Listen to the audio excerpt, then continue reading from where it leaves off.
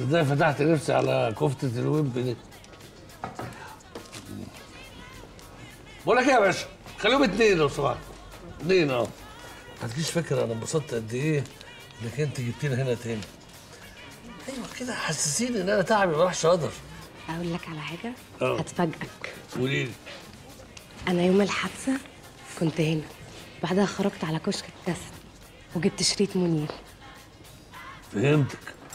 إحنا كده ابتدينا نخف فعلا. طب الكشك ده فين بقى؟ ده الناحية التانية.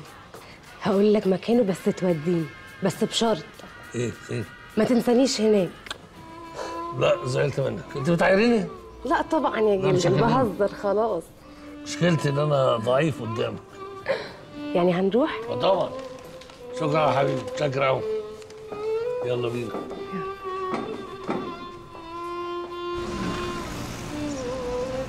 بص بقى بما إنك أنت جبتينا خلي بالك في رصيف.